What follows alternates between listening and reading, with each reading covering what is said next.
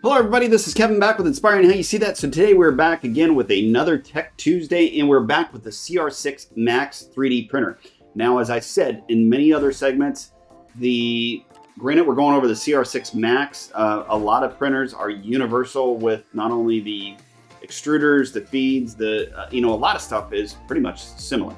So today we're going to be going over the basic Creality uh, Spider, and we had gone over this before, and some of you guys had some questions about the spider um, as far as have we used it? Uh, can you show me a video in, in regards to replacing the spider? Um, and that's what we have behind us here is the existing Ender basic, you know, the, the basic one that comes in it. And wanted to show you, of course, we're not going to go through, it's it's kind of hard to show you the intricate little parts and the, the, the technique, but we're going to show you how to kind of, you know, go through and you can remove that and talk about the spider um, piece itself. And a couple things, and we're going to keep this short. The good thing, the reason why you want to update to something like this and uh, is because of the heating this will actually heat up a lot quicker. And as you see here, the back side of it and the front has a thicker coverage area as far as protecting it from the, the heat. So what it does is as it comes through there, the filament comes through, it, it, it feeds a lot smoother, creates your 3D print in a, a smoother fashion. It doesn't have a lot of bumps and a lot of issues as, you know, as far as the older um, or the existing one that comes with the printer. That's that's why we always recommend these. These are about $80 um, to upgrade. Make sure, and you'll see in our, our previous videos, that you do upgrade uh, the tube that's right here behind us. And you'll see me switching back and forth to screens because I have this on two different screens. But you should update this to the blue tube, as I said. This is the existing tube that came with the printer.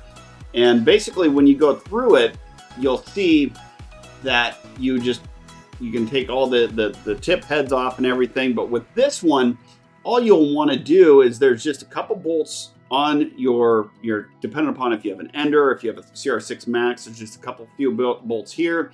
You just basically unplug it, plug it in, stick all your tubes back in it, and it's good to go. And as I said, the only issue that we have and we've had questions on is when people take this uh, apart, they don't get the bolts in there tight enough and uh, right here or they strip them out. Just be very careful with that.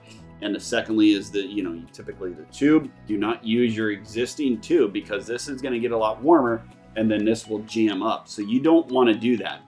Um, but basically, this does work great and it's a great uh, upgrade to any, any uh, 3D printer and it prints a lot better. And hopefully we'll get some uh, video of, you know, if, if there's something you guys are looking for.